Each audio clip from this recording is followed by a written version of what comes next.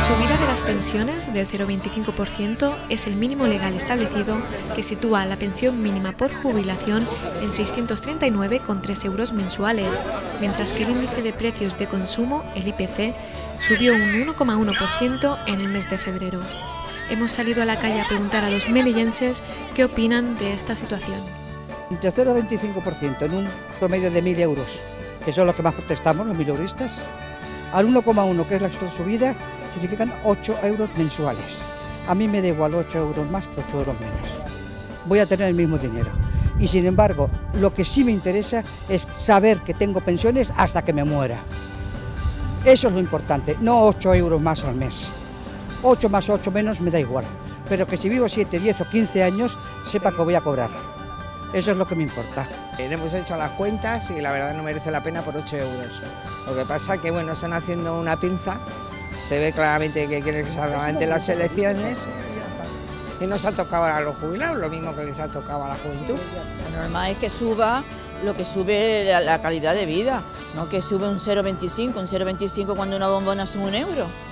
¿Cómo es posible que hagan eso? Que le bajen un poquito los políticos, que se bajen un poquito el sueldo y que se lo suban los pensionistas, que cobran mucho.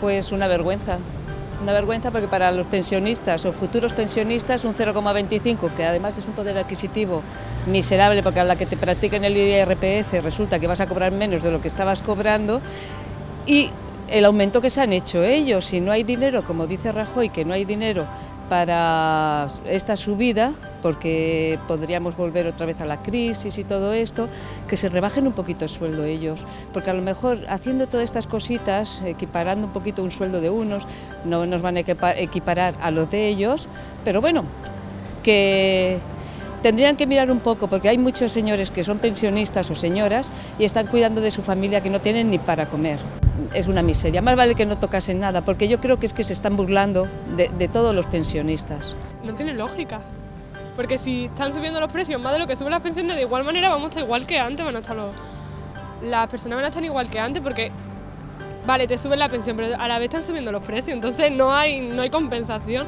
Deberían de bajar los precios y dejar, o subir un poquito más las, las pensiones y bajar los precios, o bajar los precios y dejar las pensiones como están porque si no, no tiene, no tiene lógica. Yo pienso que es una falta, que una falta de inmadurez, porque la verdad es algo muy serio, porque eh, que suban un euro o dos euros como mucho, que lo estaba escuchando yo con mis padres y eso, es algo muy vergonzoso, porque es que ¿a, dónde queremos llegar?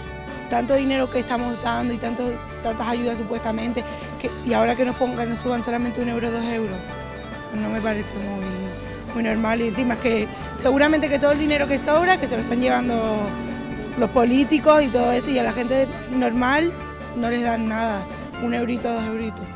Pues te la puedes imaginar, ¿no? Horrible, horrible. ¿Qué hacemos los pensionistas? ¿Eh?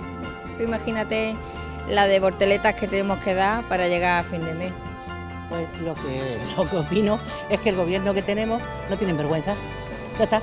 Pero ni este ni el otro ni el de Maya, ninguno de los políticos, no tienen vergüenza. Porque mira como ninguno, con tanto que se echan uno la pelota al otro, ninguno propone rebajarse ellos los sueldos, ni quitarse ellos las pensiones vitalicias. Ninguno, de eso no hablan, ninguno, de eso no lo oyen.